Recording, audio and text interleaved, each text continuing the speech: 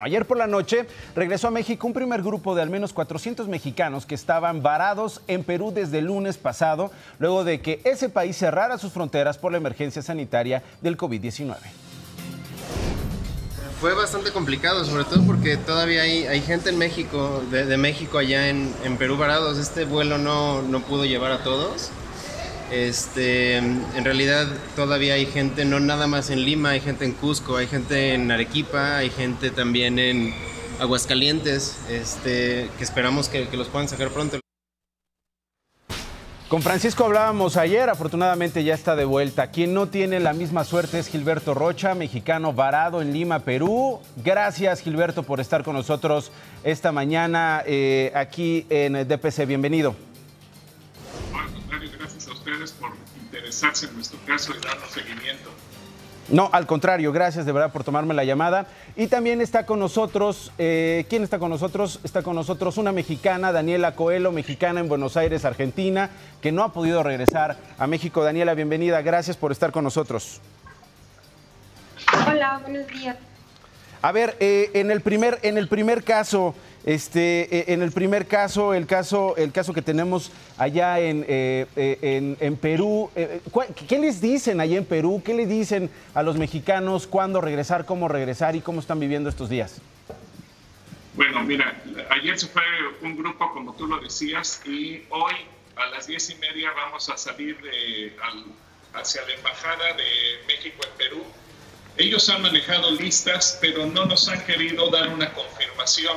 Nos dicen, preséntense y les vamos a decir si vuelan o no vuelan. Vamos con incertidumbre, vamos nerviosos, vamos eh, con angustia si nos vamos a subir o no nos vamos a subir. Yo creo que los números que se manejaban al principio de 300 se quedaron muy cortos. Yo calculo por la gente que estamos aquí que habíamos arriba de 900 o 1000 personas todavía hay gente varada en Cusco, en Arequipa y en otros lugares que no se han podido mover. Y son cientos de personas en esos lugares. Aquí en Lima yo creo que habemos más de 300 esperando podernos ir hoy en el vuelo de Aeroméxico. Bueno, Gilberto, pues ojalá y eso ocurra. De la gente con la que has hablado en estos chats en que están en comunicación los mexicanos, Gilberto, ¿sabes de algún mexicano que eh, tenga confirmado el COVID-19?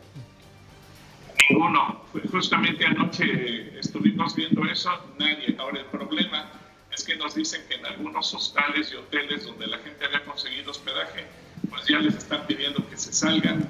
De alguna manera como que se está acabando el dinero, va generando mayor problema. Aquí mismo yo estoy en una escuela que me dieron albergue y, y les urge ya de alguna manera sacarnos, entiendo que en un momento dado nos convertimos carga para los demás y eso empieza a generar un problema todavía mayor. Yo sí le hago un llamado a la Cancillería para que no se conforme con el vuelo de ayer y de hoy, sino que tramite que mañana y pasado mañana, digo, si tenían capacidad de hacer tres vuelos diarios, yo creo que por lo menos eso se puede intentar durante tres días consecutivos para tratar de sacar a toda la gente que hay aquí.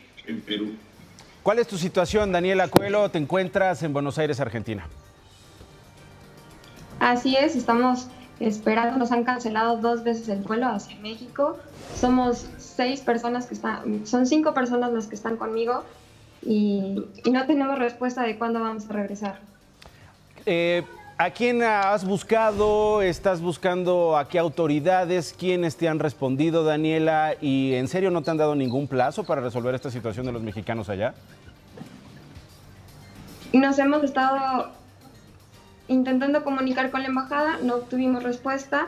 Hasta el día de ayer se comunicaron con nosotros para ver cómo estábamos y decirnos que están trabajando en eso, pero no nos saben decir fecha. Nosotros necesitamos regresar el, lunes fuimos al aeropuerto y nos han dicho que el próximo vuelo es posible que salga en 30 días de Aeroméxico. Nosotros no tenemos el presupuesto para estar 30 días más en el país.